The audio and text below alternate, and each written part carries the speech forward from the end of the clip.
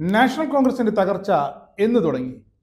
അയോധ്യയിൽ കാരണമായി തുടങ്ങിയത് പാലക്കാട് വരെ ഇപ്പോൾ വന്നെത്തി നോക്കുകയാണ്. ആ വലതുപക്ഷ വിഭാഗീയത ഒന്നിനും ഒരു മാറ്റവുമില്ല. കഥാപാത്രങ്ങൾക്കല്ലാതെ. ദേശീയ തലത്തിൽ തന്നെ പറഞ്ഞു തുടങ്ങണം. കോൺഗ്രസിന്റെ ആ തകർച്ചയെപ്പറ്റി കോൺഗ്രസിന്റെ മതേതരത്വത്തിൽ പച്ചക്കൊടിക്കോ ചുവന്ന കൊടിക്കോ ഒന്നും ഒരു സ്ഥാനവുമില്ലാത്തത് എന്തുകൊണ്ടാണ് എന്നറിയണം. കമ്മ്യൂണിസ്റ്റ് പിന്തുണയോടെ ആയിരത്തി തൊള്ളായിരത്തി തൊണ്ണൂറിൽ വി പി സിംഗ് പ്രധാനമന്ത്രിയായിരിക്കുമ്പോഴാണ് ബി ജെ പി അയോധ്യയിലേക്ക് രഥയാത്ര പ്രഖ്യാപിക്കുന്നത് നയിച്ചുകൊണ്ടിരിക്കുന്നത് വി പി സിംഗിന്റെ സഖ്യകക്ഷി മന്ത്രിസഭയെ ബി ജെ പി പുറത്തുനിന്ന് പിന്തുണയ്ക്കുന്നുമുണ്ട്. എൽ കെ അദ്വാനി നടത്തിയ രഥയാത്ര തടയുമെന്ന് മതേതര നിലപാടിലൂടെ ശക്തനും തെളിയിച്ച വി പി സിംഗ് എന്ന ആ പ്രധാനമന്ത്രി ഉറപ്പിച്ചു പറഞ്ഞു. തടഞ്ഞാൽ മന്ത്രിസഭയുടെ പിന്തുണ പിൻവലിക്കുമെന്ന് ബി ജെ പി. അധികാരമല്ല ഈ നാടിന്റെ സാഹോദര്യമാണ് മതേതരത്വമാണ് വലുതെന്ന് വി പി സിംഗ് മറുപടിയെ ആ രഥയാത്രയെ അയോധ്യ ഉൾപ്പെടുന്ന ഉത്തർപ്രദേശിന്റെ മണ്ണിലേക്ക് കടന്നു ചെല്ലാൻ പോലും വി പി സിംഗ് അനുവദിച്ചില്ല. ബീഹാറിൽ വെച്ച് ആ യാത്ര തടയപ്പെട്ടു. ഇന്നായിരുന്നെങ്കിലോ? ബി ജെ പി തൊട്ടു പിന്നാലെ പാർലമെന്റിൽ വി പി സിംഗിനെതിരെ അവിശ്വാസ പ്രമേയം കൊണ്ടുവന്നു. വി പി സിംഗിന്റെ ഉജ്ജ്വല നിലപാടിനെതിരെ കോൺഗ്രസും ബി ജെ പിയും ചേർന്ന് വി പി സിംഗ് സർക്കാരിനെതിരെ വോട്ട് ചെയ്തു. ചരിത്രമാണ്. കോൺഗ്രസ് അന്ന് ബി ജെ പിക്ക് കൂട്ടുനിന്നു. വി പി സിംഗിന്റെ മതേതര സർക്കാരിനെ താഴെ ഇറക്കാനായി. അങ്ങനെ ഒടുവിൽ നൂറ്റി നാൽപ്പത്തി ആറിനെതിരെ മുന്നൂറ്റി നാൽപ്പത്തിരണ്ട് വോട്ടിന് വി പി സിംഗ് സർക്കാർ താഴെ വീണു.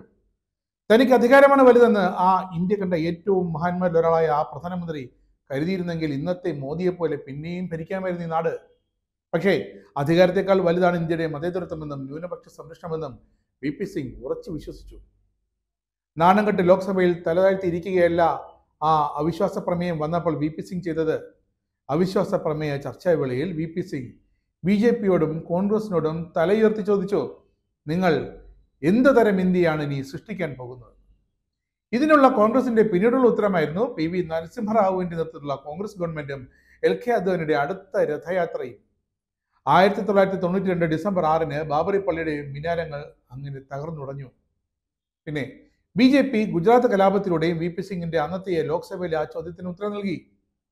ഇപ്പോൾ നരേന്ദ്രമോദി സർക്കാർ അതേ ഉത്തരങ്ങൾ സദാ നൽകിക്കൊണ്ടേയിരിക്കുന്നു. നരസിംഹറാവു സർക്കാരിന്റെ നയമാറ്റവും ബാബരി പള്ളിയുടെ തകർച്ചയും കോൺഗ്രസ് പാർട്ടിയിൽ വിശ്വസമർപ്പിച്ച ഒരു വലിയ സമൂഹത്തെ മാറ്റി ചിന്തിപ്പിച്ചു. ഹിന്ദുവും മുസ്ലിമും ഇന്ന് പരസ്പരം സംശയത്തോടെയും ഭീതിയോടെയും നോക്കിക്കൊണ്ടിരിക്കുകയാണ്. എല്ലാത്തിന്റെയും വേരുകൾ ആ ഡിസംബർ ആറിലാണ്. ഒരു പള്ളിയല്ല അന്ന് തകർക്കപ്പെട്ടത്. ഒരു മതേതര സമൂഹത്തെയാണ്. ഭരണഘടനയുടെ അടിസ്ഥാന മൂല്യങ്ങളിൽ ഒന്നാണെന്ന് തകർന്നു പോയത് മനുഷ്യർ തമ്മിലുള്ള പരസ്പര വിശ്വാസമാണ് അന്ന് നഷ്ടമായത്. അതായിരുന്നു കോൺഗ്രസിനും ബി ജെ പിക്കും അന്ന് വേണ്ടിയിരുന്നത്. ഇന്നും അവർക്ക് വേണ്ടത് അത് തന്നെ.